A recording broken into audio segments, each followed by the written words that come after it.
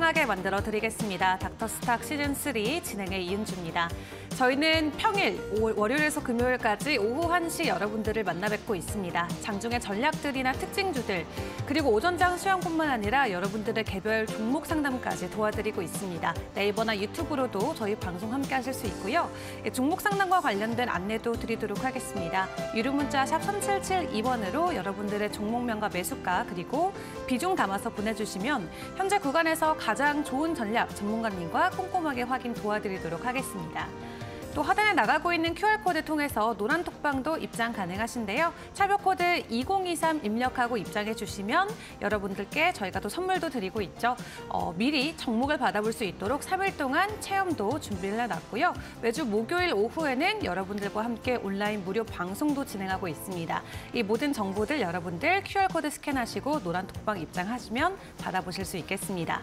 자, 그럼 오늘 저희와 함께 해주실 전문가님 먼저 화면 통해서 확인해 보도록 할 텐데요. 화면 바로 만나보시죠.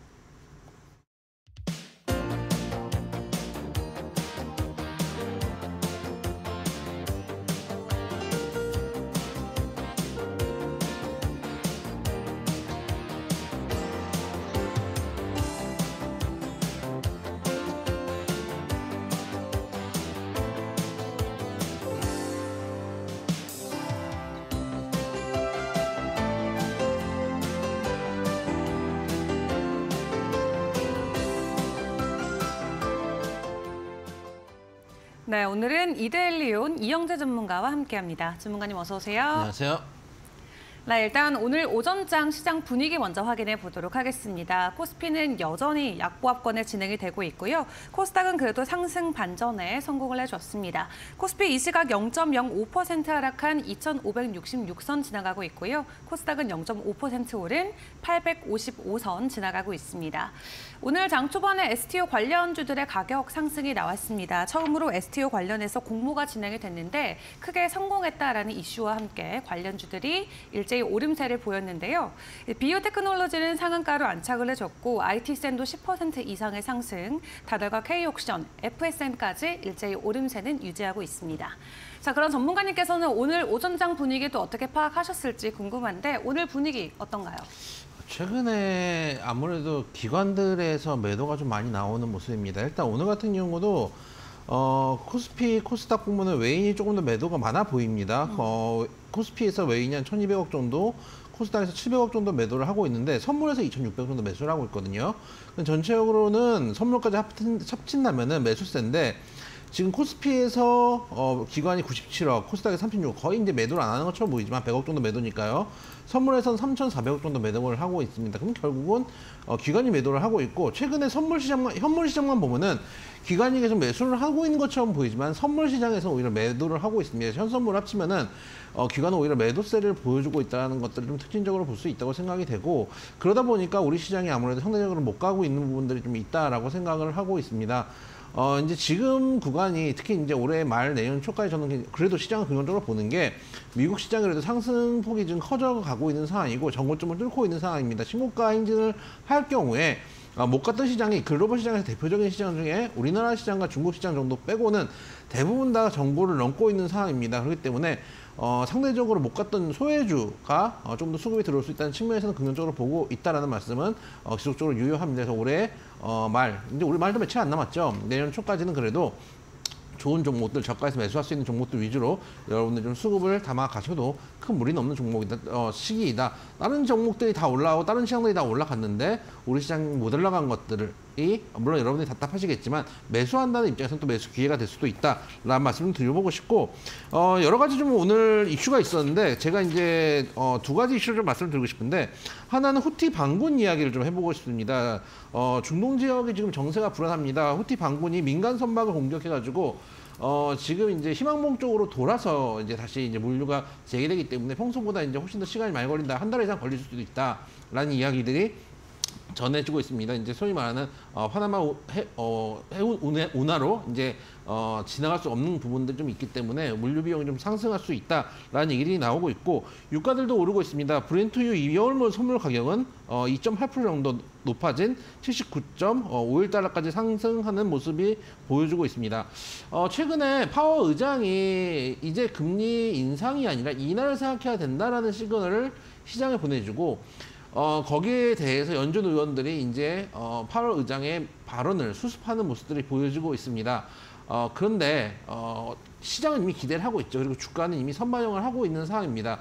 어, 거기에 어, 물류비가 증가한다는 거, 또 유가가 증가한 거, 한다는 거는 지금 낮아지고 있는 인플레이션에 대한 기대감을 꺾을 수 있다는 측면에서 어, 이 부분 어, 언제까지 이렇게 어, 물류비가 증가하고 어, 희망봉 쪽으로 돌아가야 되는지 물류비가 어느 정도까지 증가하는지는 우리가 유심하게 지켜볼 필요가 있다. 내년에 인플레이션이 과연 꺾이는지 지표 관련해 가지고도 우리가 어, 지켜볼 필요가 있다는 말씀을 좀 드리고 싶고요.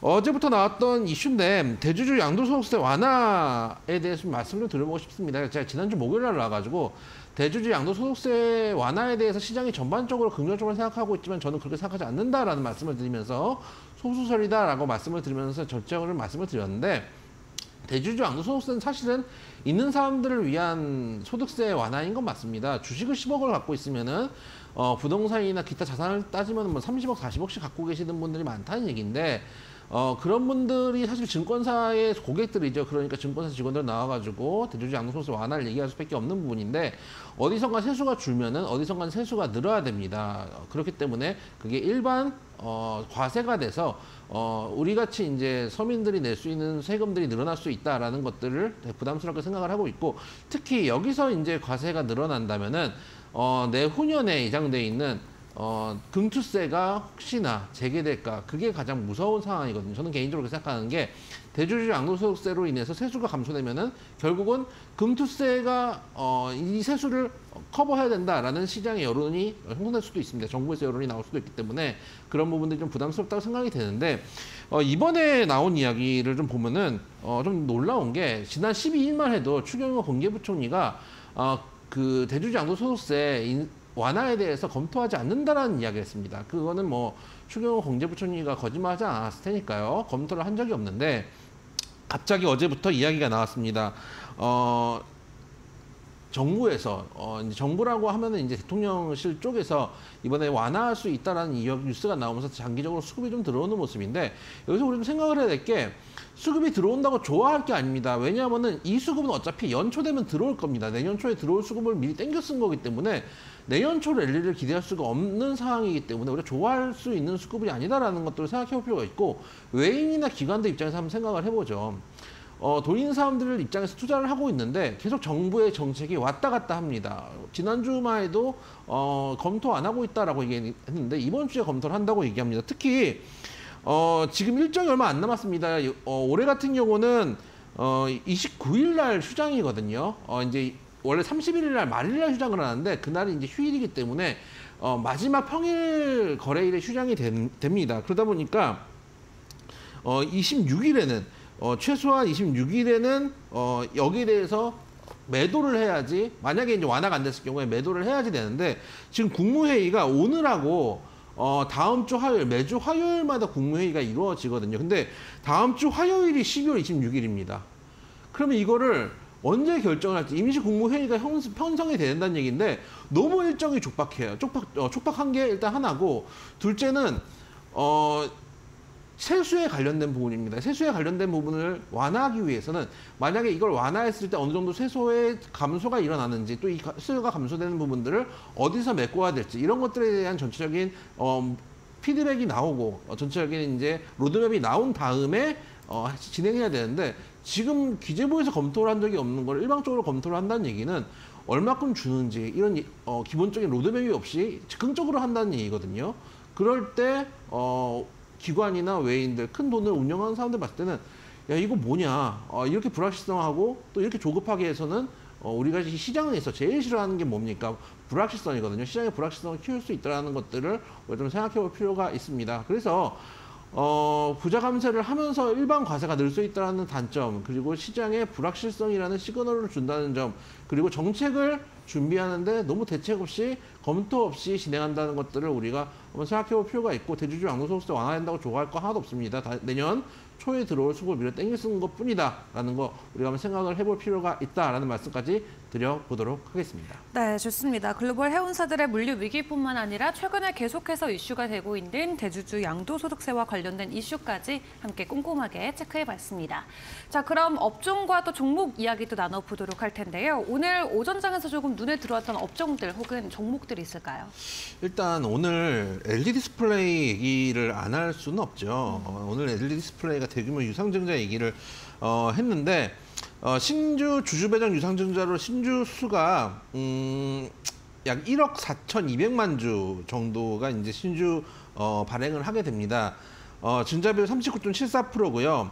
어, 예정 발행까지 20% 할인율을 적용해서 9,550원인데 어, 현재 오늘 개파락을 해가지고 1,940원까지 내려왔거든요. 그러니까 이게 9,550원이라고 증자 비율이라고 해서 이게 무조건 어, 이 주가가 9,550원까지 내려가야 되는 건 아닙니다. 예를 들면은 어, 만 원짜리 주식이 있고 어, 이게 증자를 해가지고 5천원이 5천원의 물량이 들어온다고 하면은 이 중간 어디 정도의 가격에서 시장에서 가격이 형성될 거 아닙니까? 그렇기 때문에 어 사실은 이 오늘 개파락이 나오기 이전에 전거래일 종가가 어, 한 12,300원대고 오늘 개파락하면서 만 원대까지 내려왔기 때문에 사실은 가격은 어느 정도 반영됐다라고 볼 수 있다는 측면들도 생각해 볼 필요가 있고 이 중에서 어, 삼, LG 전자가 가져가는 물량이 배정 물, 어, 배정됐던 물량, 신규 배, 어, 물량 중에 120%에 해당하는 5,173만 주를 가져갑니다. 이 5,173만 주는 시장에 나오는 물량이 아니거든요. 그러니까 락되는 물량일 가능성이 높기 때문에 결국은 실제 이제까지 시가총액에서 대비해가지고 전체 유상증자 물량은 어, 어떻게 보면은 우리가 보고 있는 전체 비율 39.74%보다 적게 보일 수도 있다라는 것들을 한번 생각해 본다면 지금 저 가격이면은 어느 정도 신주 가격을 좀 인식한 부분들까지 내려온 상황이 아닌가. 그래서 갭하락 후에 음봉이 나오기보다 양봉이 나오는 것도 그런 부분들을 반영하고 있는 게 아닌가라는 생각이 되고 어쨌든 이번 이번 유상증자를 통해 가지고 어, LG 디스플레이 같은 경우는 IT 모바일 차량용 중소형 OLED 사업 확대를 위한 시설 투자 이런 것들을 진행한다고 얘기를 했고요. 또 대형 주용 소형 OLED 전 사업 분야 생산 운영 안정화를 어, 위한 운영 자금을 현재적으로 확보한다라고 해서 어, 이 자금으로 사업 안정성을 도모한다라는 측면들을 생각했을 때 어, 지금 단기적으로는 분명히 주가가 희석되는 부분들이 있기 때문에 단기 낙폭이 있었지만은 아까 말씀드렸던 대로 원래 주가가 만 원인데 5천 원짜리 신주가 들어온다고 해서 이 어, 전체적인 주, 주가가 5천 원까지 내려가는 건 아니거든요. 이 언제까지 사이에서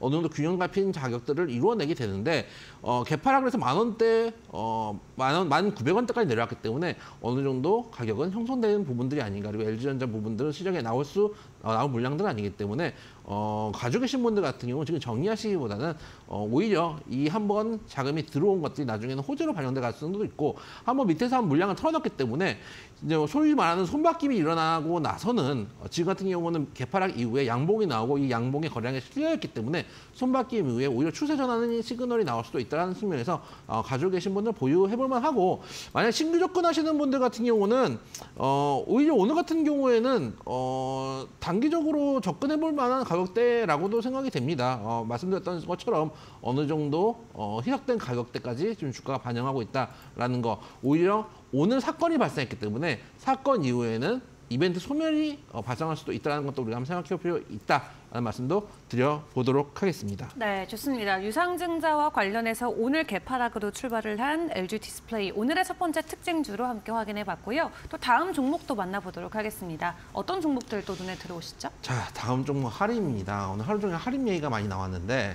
사실 하림이 HMM을 인수하면은 하림이 변동성이 커야 되는 게 아니고 하림 지주가 변동성이 커야 되거든요. 왜냐하면 하림 지주의 팬오션이 어, 지금 이제 계열사로 돼 있고 그 페노션을 중심으로 해서 HMM을 인수하는 거기 때문에 어, 사실 HMM 어, 할인 지주가 원래 움직여야 되는데 할인 지주가 어, 얼마 전에 그 주가 조작 사건에 한번 연루됐던 적이 있단 말이죠. 그러니까 할인 주주의 선뜻 손이 안 나가는 겁니다. 그러다 보니까 할인 주주보다 할인이 더 크게 움직이는데 어, 여러 가지 시장의 걱정들이 있습니다. HMM이 지금 당장 수익성이 이렇게 큰 상황도 아니고, 어, 컨테이너 운임 지수, BDI 지수 같은 경우도 한때는 이제 5,000불까지 올라갔던 게 지금 1,000불대까지 내려왔기 때문에 고점 대비해 가지고 운임 지수도 많이 떨어진 게 아닌가라는 이야기들도 있습니다. 그리고 이제 여기서 고민해야 될 부분은 뭐냐?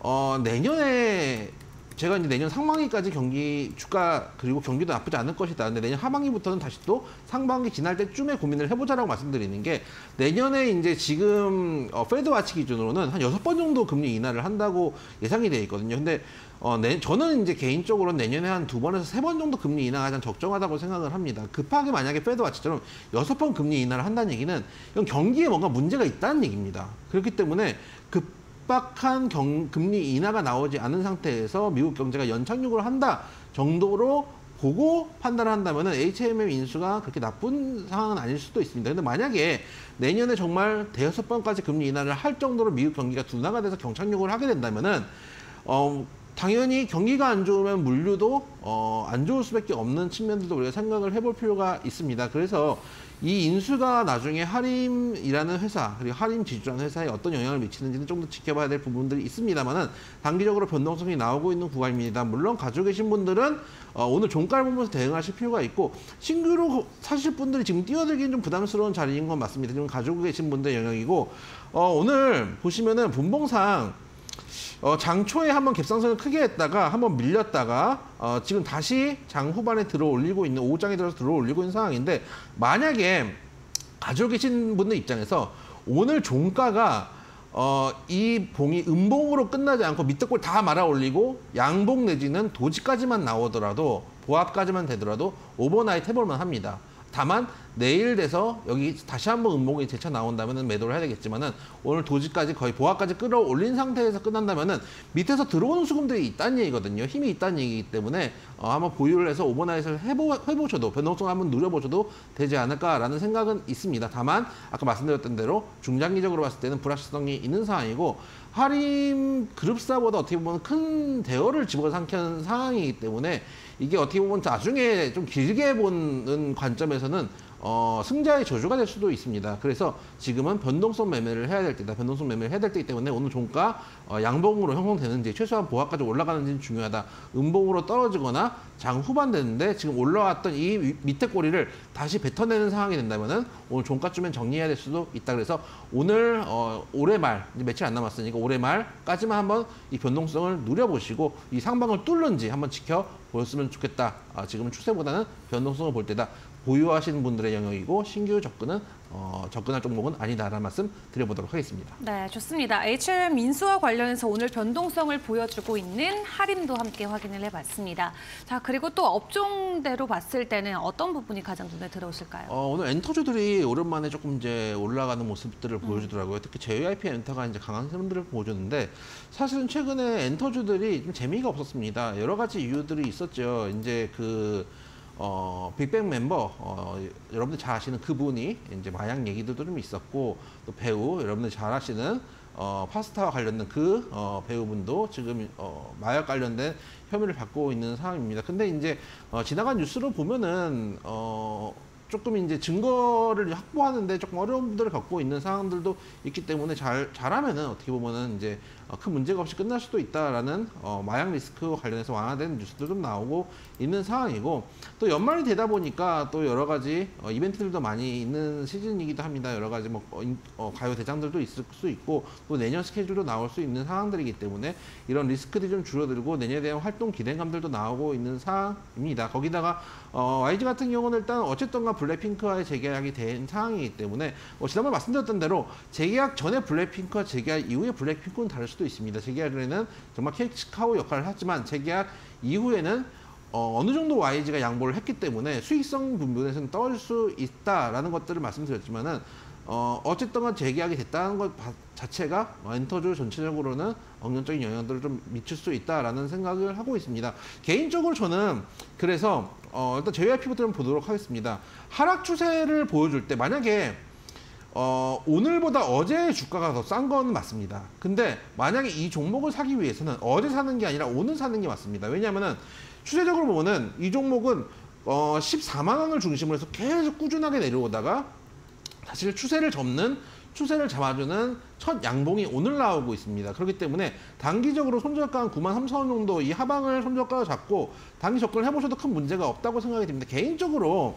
엔더주 중에 저는 JYP를 어, 제일 긍정적으로 보고 있는 상황입니다. 어, 보고 있는데 왜 그러냐면은 어, YG 같은 경우는 사실 법적인 리스크들이 아직도 남아있고 대표부터 해가지고 여러분들이 뭐 잘 아시는 어, 법적인 리스크도 남아있는 상황이고 어, 하이브 같은 경우는 아직 저기 BTS 멤버들이 돌아오려면 2025년은 돼야지 같이 이제 활동을 할 수 있기 때문에 어, BTS에 대한 후광을 보자면은 아직 하이브 어, 좀 시간이 좀 남았다라는 생각도 들고 개인적으로 JYP 박진영 대표가 다른 이제 어떻게 보면 방시혁 대표라든지 양현석 대표라든지 이수만 대표 같은 경우는 진짜 CEO가 됐는데 어, 박진영 대표 같은 경우는 아직도 어, 뮤지션으로 활동하고 있기 때문에 최근에 박진영 대표가 낸 판 아 혹시 들어보셨나요? 어떤 거죠?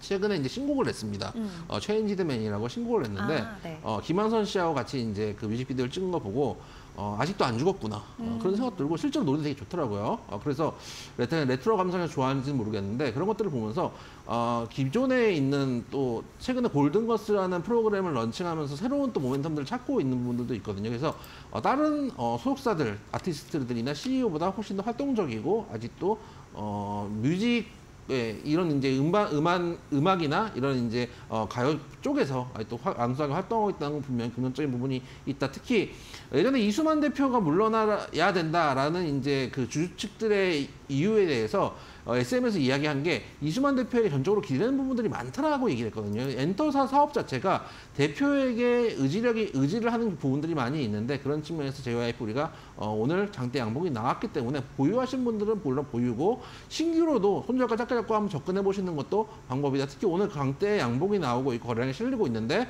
매수 주체가 외인 기간이라는 것도 긍정적인 측면이 있다. 그래서 엔터주 어, 지금부터 추세 전환하는지 지켜보자라는 말씀 드려보도록 하겠습니다. 네, 좋습니다. 각 엔터테인먼트마다 각자의 또 사정과 리스크로 어느 정도 조금 눌림목이 계속 나왔었는데 이제 리스크가 완화되면서 엔터주 안에서도 JYP 탑픽으로 선정해 주셨는데요. 반등 국면에 성, 어, 성공할 수 있을지에 대한 여부 함께 지켜보시면서 투자 이어가시면 좋겠습니다.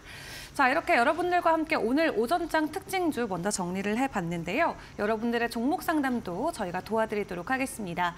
네, 계좌에 있는 고민 이- 있으시다라고 하시면은 유료 문자 샵 3772번으로 여러분들의 종목명과 매수가 그리고 비중을 담아서 저희한테 문자 보내주시면 저희가 종목 상담 도와드리도록 하겠습니다.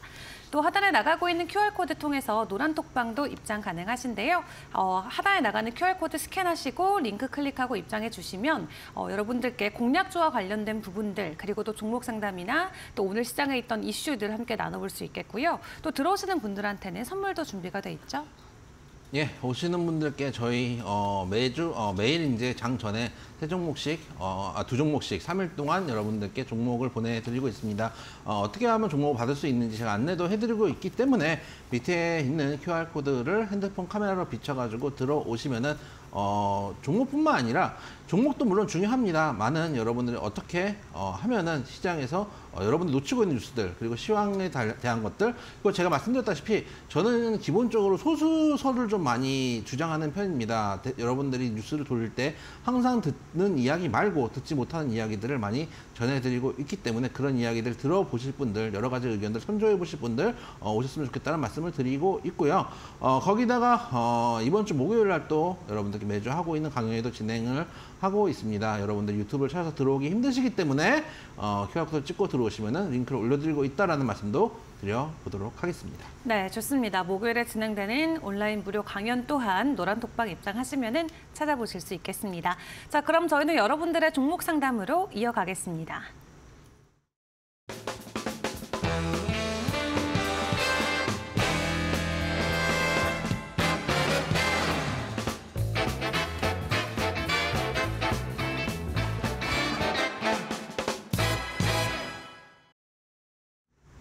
네, 무엇이든 물어보세요. 종목 상담 시간입니다. 다시 한번 참여 방법 안내드리도록 할 텐데요.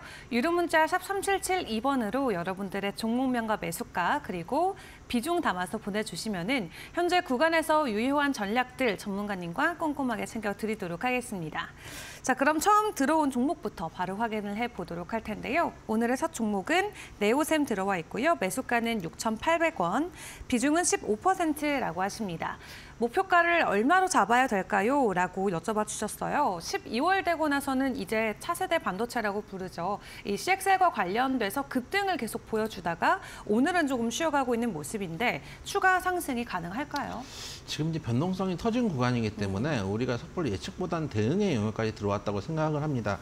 반도체는 목표가 있습니다. 반도체가 이제 그 어, 드린 말씀이지만 저는 어, 여러분들 젊은 분들은 처음에 이제 스마트폰부터 시작을 하셨지 모르겠지만은 이제 연배가 좀 있으신 분들은 잘 아실 겁니다. 저도 삐삐, 삐삐부터 시작을 한 세대거든요. 삐삐부터 해가지고 CT폰하고 공중전화도 썼고 어, 집에 이제 무선 전화기도 있었고 어, 그러다가 이제 피처폰 쓰고 스마트폰까지 진짜 소위 말하는 이동통신 기기는 다 써봤습니다. 어, 다 쓴 세대인데 어, 이 모든 이동기기를 포함해서 모든 이제 전자제품 같은 경우는 어, 모든 반 모든 제품에 반도체가 들어갑니다. 반도체는 어, 하나의 목표를 가지고 있습니다. 뭐냐?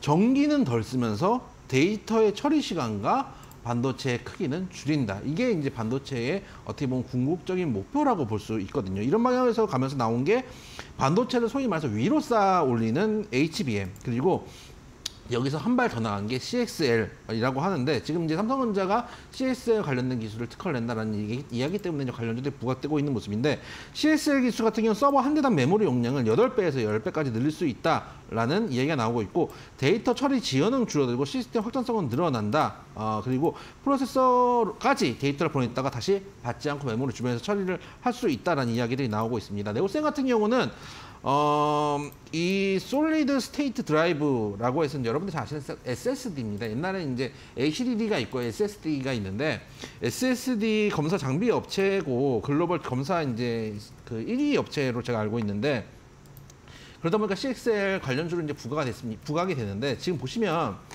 어, 이렇게 급등을 하면 정리를 해야 된다라고 생각하시는 경우들도 많이 있습니다. 많은 저는 아까 말씀드렸지만 지금은 예측의 영역이 아니고 대응의 영역입니다. 이미 고점을 돌파했습니다. 고점을 돌파해서 신고가의 영역에 올라갔다는 얘기는 이 위에 매물이 없다는 얘기거든요. 그리고 보시면 이 종목이 만약에 죽을 거면은 여기 이 음봉을 준 다음에 여기서 양봉을 붙이지 않습니다. 지금 올려가지고 5일선 인근에서 오늘 밑꼬리가 나고 있거든요. 만약에 오늘 종가까지 현재 구간에서 양봉이 더 나오거나 아니면 현재 구간까지만 유지를 해도 overnight 해볼만 합니다. 내일 5일선 타고 추가 양봉 갖다 붙일 수 있는 자리이기 때문에 일단 보입니다. 다만 반대로 얘기하면은 오늘 음봉이 떨어져가지고 5일선 밑으로 즉 어제의 시가 밑으로 떨어지거나 내일 돼가지고 음봉이 크게 떨어지면서 5일선 밑에서 종가가 형성되면은 단기 하락 국면이 될 수 있습니다. 특히 어, 여기서 음봉이 떨어지면 최소한 어, 전에 상한가를 먹었던 이 어, 종가까지는 일단 무조건 빠진다고 봐야 되거든요. 그리고 여기서 지지가 나오지 않는다면 추가 하락도 나올 수 있기 때문에 현재 변동성 구간에서는 대응의 영역이다. 일단 보유를 하시고 오늘 양봉으로 갖다 붙이는지 그리고 overnight 할 때마다 양봉이나 최소한 5일선을 지켜주는지 보면서 보유를 하시죠. 다만 보유자의 영역이고 신규 접근을 하시는 구간들은 어, 초보자들이 하실 부분은 아니고 변동성이 많이 나오기 때문에 선수의 영역이다라는 말씀도 드려보도록 하겠습니다. 네, 좋습니다. 보유자의 영역이다라고 평가해 주셨습니다. 일단 5일선 아래로 떨어지게 된다라고 하면 은 단기적인 하락 추세가 나올 수 있다라는 부분은 염두에 두시는 게 좋겠습니다. 자, 이어서 또 다음 종목 바로 만나보도록 하겠습니다. 다음으로는 풍산이고요. 매수가는 4만 원, 비중은 20%라고 합니다. 다시 4만 원대로 올라갈 수 있을지 궁금합니다. 라고 연락을 주셨어요. 풍산 같은 경우는 3분기 실적은 조금 시장 컨센을 하회를 했는데 그래도 4분기에 대한 실적 기대감은 살아 있는 것 같거든요. 다시 4만 원 선 노려봐도 괜찮을까요? 어, 일단 풍산 같은 경우는 구리 가격, 아, 구리 가격에 이제 좀 어, 민감도가 좀 있는 어, 종목이라는 걸 여러분들이 대부분 다 아실 거라고 생각을 합니다. 그래서 어, 최근에 음, 구리 가격을 한번 보여드리려고 하는데 어, 한번 보여드릴까요? 이 화면이 잘 나오는지 모르겠는데 어, 화면 한번 보여드리면은 아, 나오네요. 이게 구리 가격입니다. 보시면은 1년의 구리 가격인데 보시면은 올해 한 10월이나 11월 구간에서 3.5달러 선까지 내려갔다가 지금 반등을 천천히 하고 있습니다. 물론 단기적으로 봤을 때는 고점 대비해서 조금 내려왔는데 지금 3.85달러까지 선까지 올라왔거든요. 저점 대비해가지고 지금 많이 올라오고 있는 구간입니다. 그래서 경기에 대해서 연착륙을 지금 생각하시는 분들의 의견 중에 하나, 경기 둔화가 아니라 경기는 완만한 상태에서 어, 물가는 인플레이션 떨어진다라고 생각하는 이유 중에 하나가 구리 가격이 올라오는 부분도 있습니다. 구리, 가, 구리 가격과 경기는 상당히 민감성이 높기 때문에 구리 가격은 좀 올라오고 있다는 측면도 지금 풍산에서 긍정적인 부분이라고 보고 있고 그것 때문에라도 지금 보시면은 거의 10월 저점, 거의 구리 가격 비슷하죠. 10월 저점을 형성한 다음에 지금 저점을 조금씩 올리고 있다라는 것도 한번 볼 필요가 있고 어. 그 뉴스를 여러분들이 보셨는지 모르겠는데 한 몇 달 전에 그 우크라이나 넘어가는 탄약이 우리나라 풍산 쪽에서 어, 직접 넘어 어, 직접 혹은 어, 소위 말해서 쓰리 쿠션을 넣어가지고 넘어간다는 얘기들이 있었거든요. 그게 이제 정부에서 어떻게 보면 쉬쉬해가지고 뉴스가 잠깐 올라왔다 내려갔었는데 어, 그런 어, 어떤 이제 제가 뉴스 한 지난주에 나왔던 뉴스 같은데 그 뉴스에 보면은 전 세계에서 우크라이나에 들어가는 포탄 중에 가장 많이 제공한 나라가 우리나라라는 얘기도 있더라고요. 그래서 그런 뉴스들도 있기 때문에 우리나라에 지금 전제 비축된 포탄들이 지금 어떻게 보면 우크라이나에 지원이 가고 있다는 얘기는 새로운 포탄을 만들어야 되는 수요들이 있다는 얘기이기도 하고 또 우리나라뿐만 아니라 전 세계 마찬가지일 겁니다. 미국이나 어떤 나라든지 마찬가지인 게 포탄을 지금 어, 재고를 비축을 해야 되는데 지금 다 소모를 한 상황이거든요.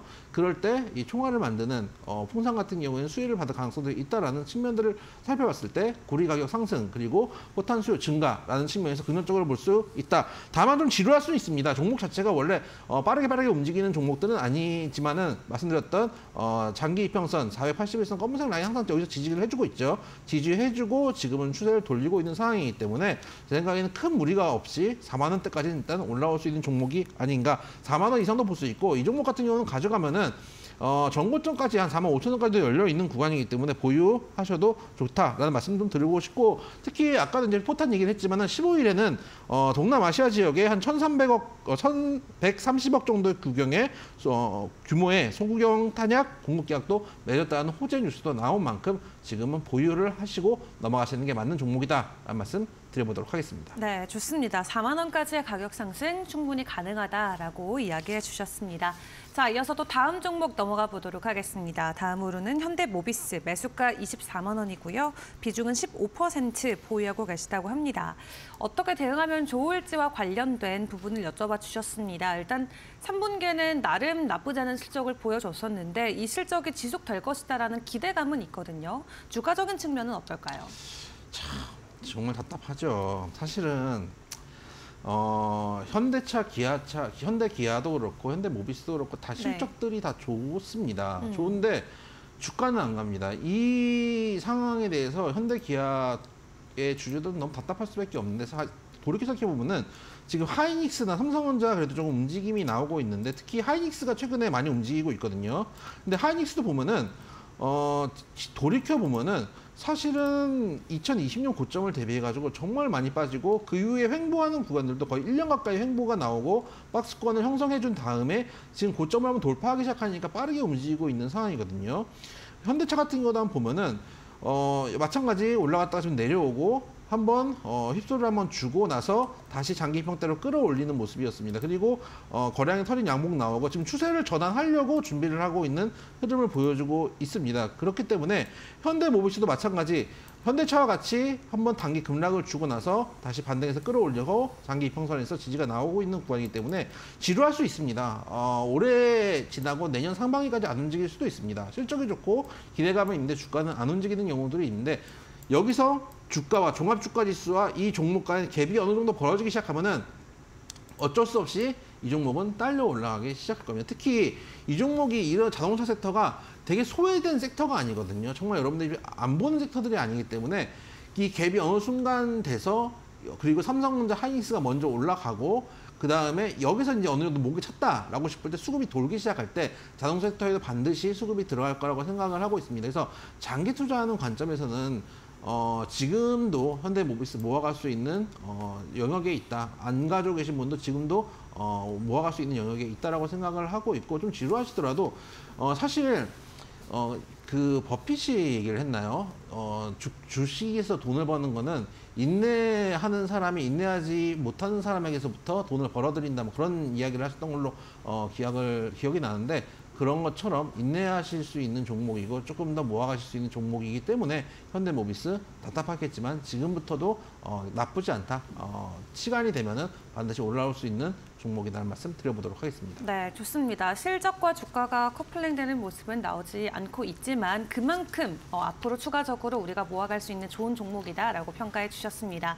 자, 나의 종목, 종목도 궁금하다 하시는 분들은 저희와 함께 종목 상담 이어가 보시면 좋겠는데요. 유료 문자 샵 3772번으로 여러분들의 종목명과 매수가 그리고 비중 담아서 보내주시면은 저희가 종목 상담 꼼꼼하게 진행해 드리도록 하겠습니다. 또 하단에 나가고 있는 QR코드 통해서 노란 톡방도 입장 가능하십니다. 스캔하고 참여 코드 2023 입력하고 입장해 주시면 되고요. 또 새로 들어오시는 분들에게는 저희가 3일 동안 무료 종목을 미리 받아볼 수 있도록 도와드리고 있습니다. 주로 어떤 종목들을 주시는 걸까요? 어, 일단은 기술적으로 자리가 나오는 종목들을 위주로 선정을 합니다. 그러니까 실적도 어느 정도 나오는 종목들도 있고 또 조금 리스크한 종목이지만 탄력이 좀 빠르게 나올 수 있는 종목들도 있습니다. 그런 종목들을 전반적으로 대, 어, 조금 큰 종목들, 작은 종목들을 합쳐가지고 드리는 경우들이 많이 있습니다. 그래서 단기적으로 저희 목표가나 손절까지 설정을 해가지고 보내드리기 때문에 어, 매매하시는데 분명히 참조할 수 있고 특히 어, 지금 뭐 지난번에 말씀드렸던 것처럼 방송에서 여러분들이 보는 종목들이나 오늘의 탑픽주 이런 것들은 실제로 시세가 나오는 경우들이 많이 있습니다. 그런 경우에 시세가 나온 걸 보고 어 좋은 종목인가 보다 하고 들어갔는데 실제로는 그때부터 손해를 보는 경우들이 많이 있거든요. 항상 우리는 주식을 소문해서 어, 뉴스에 팔아야 된다. 뉴스가 나올 때는 그 종목은 손댈 게 아니다. 소문이 들어있는 차트에 녹아져 있는 종목들을 위주로 소개시켜 드린다는 말씀 드리고 있고요. 밑에 있는 QR코드 어, 보시고 카메라 대시면은 어, 링크 나옵니다. 링크를 어, 클릭을 하시면은 비밀번호를 이렇게 돼 있죠. 2023 어, 넣고 어, 들어오시면은 어, 종목뿐만 아니라 또 오늘 시황이라든지 여러분들 놓치는 실시간 뉴스들 장 전에 미리 다 올려드리면서 투자에 참조할 수 있는 자료들을 올려드리고 있으니까 오셔가지고 어, 함께 하시면 좋겠다는 말씀도 드려보도록 하겠습니다. 네, 좋습니다. 또 노란톡방 입장하시면 저희가 목요일마다 진행하고 있는 온라인 무료 방송 이 링크도 함께 올려드리고 있습니다. 목요일에 무료 방송도 꼼꼼하게 챙겨보시길 바라겠습니다. 자, 그럼 저희는 종목 상담 계속 이어가 보도록 할 텐데요. 다음 종목도 확인해 보도록 하겠습니다. 다음 종목은 카나리아 바이오 들어와 있고요. 12,550원, 비중은 30%를 들고 계시다라고 합니다. 어, 사실 고점 대비해서 많은 가격 하락이 나왔던 종목이죠. 지금 매수가 대비해서도 가격은 많이 내려와 있는데 그래도 오늘 이 에드바이오텍 쪽에서 주식 을 100만 주, 어, 100주 정도, 100만 주 정도 추가 취득했다는 소식과 함께 장중에 오랜만에 조금 반등을 보여주고 있거든요. 이번 좀 뉴스를 통해서 추가적인 가격 상승 기대해봐도 좋을까요?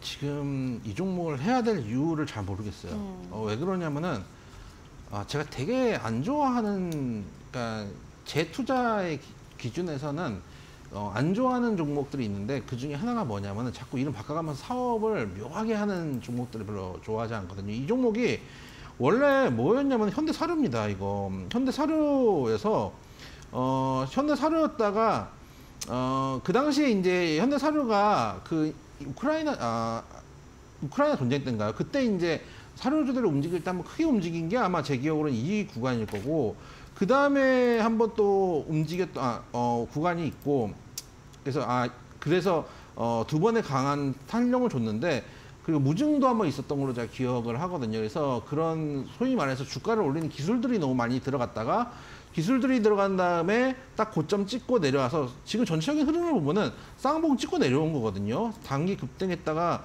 내려왔다가 쌍봉 정확하게 전고점에서 찍고 내려온 상황이기 때문에 어 단기적으로 예를 들어서 어, 주가에 대해서 그냥 변동성을 노리면서 들어가시는 경우는 손절가면 4,900원 정도 작게 어, 매- 대응해 보실 수 있겠지만은 어, 저는 개인적으로 지금 12,000원에 사셨다고 하니까 지금 당장 정리하기 좀 힘드시겠지만은 이게 만약에 장기 이평선 가격대 한 직전 고점 한 7,000원대까지만 올라와도 저는 최소한 비중 축소를 하고 다른 종목을 가셨으면 좋겠어요. 왜냐하면 여기서부터는 어, 세력들이 가지고 노는 이제 자리인데 최근에 음, 주가 조작 관련해서 이제 소위 말하는 이제 그 라다견 사태도 있었고 주가 조작 관련해서 어, 오늘 제가 본 뉴스 오늘인가 어제 본 뉴스인데 과징금도 한 두 배로 늘린다 뭐 이런 얘기들도 있기 때문에 이렇게 너무 대놓고 하는 게 쉽지 않을 수 있거든요. 그래서 어 조금 이제 이름까지 사명 바꿔가면서 또 어, 예전에는 뭐 코로나 관련된 종목으로 또또 우크라이나 전쟁 관련된 인플레이션 관련주로 움직였던 이런 종목들은 어, 뒤꾸는 한 번 있을 수 있습니다. 나- 뭐 소위 말하는 어, 털지 못한 물량들을 한번 끌어올리기 위해서 단기적으로 반등시킬 수 있는데 만약 단기 반등이 나와서 한 7천 원대까지만 와- 오더라도 일단은 좀 정리를 해가지고 지금 아까 뭐 현대모비스도 그렇지만은 되게 실적 좋고 괜찮은 종목들 많이 있습니다. 그런 종목들 모아가면 반드시 시세가 나는 종목들이 있기 때문에 어, 반등 시에 매도를 하자라는 말씀 드려보도록 하겠습니다. 네, 좋습니다. 만약 7,000원 선까지 반등이 나온다라고 하면은 조금 비중 조절을 하시면서 다른 종목으로 투자 기회를 찾아보는 것도 하나의 방법이 될 수 있을 것 같습니다. 자, 이어서 다음 종목도 보도록 하겠습니다. 다음은 모아 데이터고요. 매수가가 3,405원, 비중은 20% 보유하고 계시다고 합니다. 이 종목 같은 경우도 올 초 특히 상반기에 조금 강했다가 그 이후로는 계속해서 하락 추세가 이어지고 있는 것 같은데 추가적인 반등의 모멘텀 기대해 볼 수 있을까요? 어, 자리 자체는 사실은 하방을 잡고 있는 자리이긴 합니다. 특히 음. 이제 올해 같은 경우는 네옴시티 관련해서 거기서 이제 의료 AI 관련된 종, 어, 이야기들 나오면서 이제 어, 그쪽 AI 관련된 종목으로 이제 조금 엮여서 테마성으로 움직인 부분들이 있는데 어, 다만 지금 이제 하방은 좀 잡고 있기 때문에 현재 구간에서 음, 횡보 후에 반등을 준다면 충분히 매수가까지는 올 수 있는 종목이다. 다만 조금 아쉬운 거는 뭐냐면은 어, 실적이 계속 올라가는 종목이 있다 하면은 이 종목 같은 경우는 2020년에 31억 영업이익이 나왔다가 2021년에 27억으로 줍니다. 2022년에는 11억까지 줄었다가 올해는 이제 올해 적자 전환까지 하고 있거든요. 영업이익이 계속 떨어지고 있다는 얘기예요. 어, 그런데 매출액이 그렇다고 크게 주느냐? 매출액은 크게 줄지 않습니다. 그 얘기는 뭐냐면은 영업이익률이 계속 떨어지고 있다는 얘기거든요. 그렇기 때문에 그런 측면들을 봤을 때 어, 1순위 종목은 아니다. 다만 하방은 잡고 있기 때문에 뉴스가 나왔을 때 한 번 정도 반등을 주면서 매수가 어항까지는 올 수 있다. 만약 매수가 어항까지 온다면은 종목 교체를 해서 어, 지금 정말 어떻게 보면 좋은 종목도 많이 있거든요. 못 간 종목도 많이 있고 특히 코스닥이 많이 올라온 것 같지만 사실 올해 상반기에 에코프로, 에코프로 BME 시장을 끌어올린 게 있기 때문에 사실은 그 외에 다른 종목들은 못 올라간 종목들이 대단히 많습니다. 그런 것들을 봤을 때는 어, 매수가 인근에서는 종목 교체 한번 생각해보자 말씀드려보도록 하겠습니다. 네, 좋습니다. 이 종목 같은 경우도 매수가 부근까지 반등 나온다라고 하면은 종목 교체와 관련된 부분으로 어, 지켜보시는 게 좋을 것 같습니다. 마지막 종목도 이어가 보도록 하겠습니다. 마지막은 인선 ENT고요. 7,700원 비중은 100%를 보유하고 계시다라고 합니다.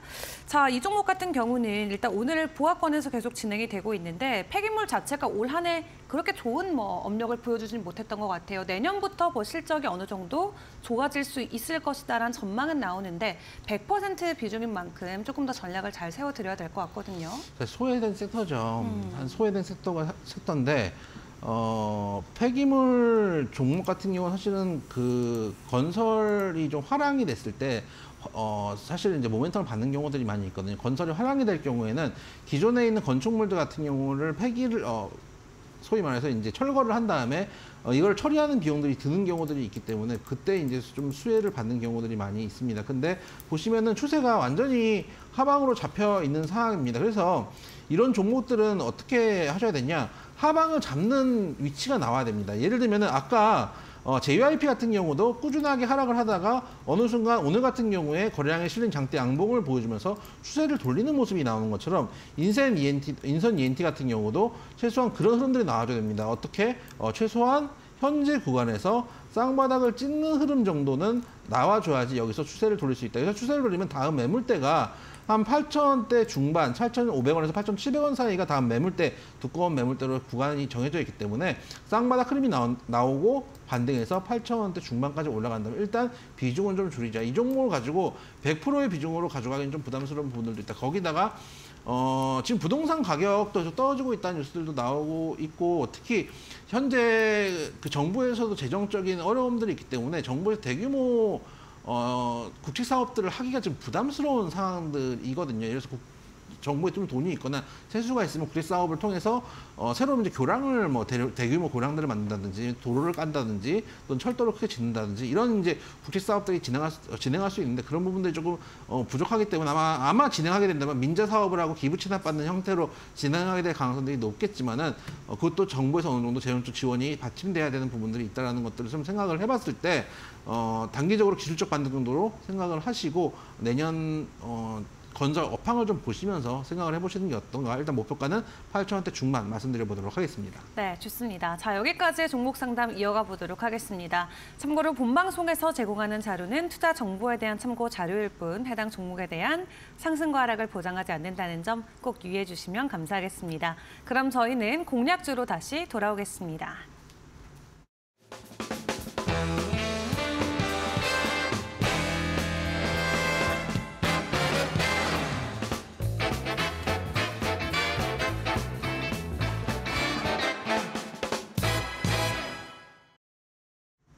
네, 주식 닥터의 다크호스 공략주 시간입니다. 오늘의 공략주 바로 확인해 보도록 할 텐데요. 어떤 종목일까요? 어, 요즘은 이제 삼성이라는 이야기가 좀 들어가야지 주가가 좀 올라가는 것 같아요. 뭐 대표적으로 레인보우 로보틱스 같은 종목들이 그런 그런 들을 보여주는데 오늘 그래서 삼성 쪽에 납품을 좀 하고 있는 종목들을 어, 말씀을 드려보도록 하겠습니다. 그래서 오늘 종목은 한솔 테크닉스라는 종목입니다. 두 가지 관점을 좀 말씀을 드리고 싶은데 일단은 휴대폰과 탭의 부품을 좀 만들고 있다. 그래서 휴대폰 부품 관련된 종목으로도 하나를 좀 말씀을 드려보고 싶고 하나는 태양광 관련된 이야기를 좀 말씀을 드려보고 싶은데 일단 내년에 갤럭시 S24가 출시가 됩니다. 내년 1월 17일에 언팩 행사를 개최를 하고 어, 출시일은 한 2주 장, 어, 전작 S23보다 이제 한 어, 이 정도 빠른 1월 30일 정도에 이루어질 전망이거든요. 그때쯤 되면은 다시 한번 삼성 어, 혹은 휴대폰 부품주들 이런 종목들이 한번 시세를 받을 수 있다는 측면에서 좀 지켜보자라는 말씀을 드려보고 싶고요. 최근에 이제 태양광 관련된 종목뿐만 아니라 풍력 관련된 종목들도 아, 금리 인하 시기에는 성장주기 때문에 이런 종목도 관심 있게 보자라는 이야기들을 하고 있는 상황입니다. 어, 그리고 기후가 지금 기후 변화가 좀 심각한 상황입니다. 올해 지금 어, 우리나라가 지난주까지만 해도 아, 지난주까지만 해도 되게 따뜻했거든요. 근데 오늘은 얼어 죽는 줄 알았어요. 네. 어, 정말 추운데 그만큼 기후 변화가 심한 상황입니다. 그래서 최근에도 유엔 기후 변화 협회 당사장 총회 어, 콥 28에서도 어, 최종 합의문이 나왔다라는 걸 한번 설, 어, 아, 여러분들께 말씀드린 적이 있었습니다.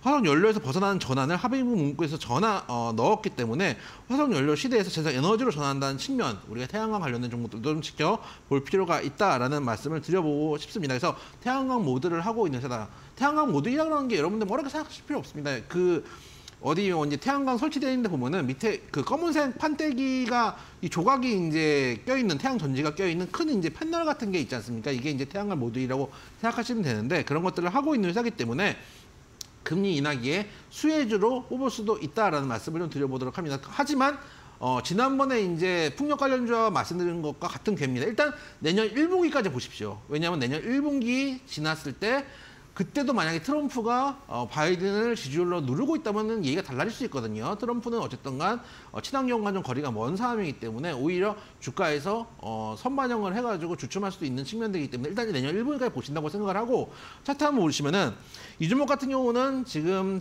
어, 소위 말해서 역head and shoulder 자리가 나오고 있는 구간입니다. 보시면 한번 내려왔다가 조정 주고요.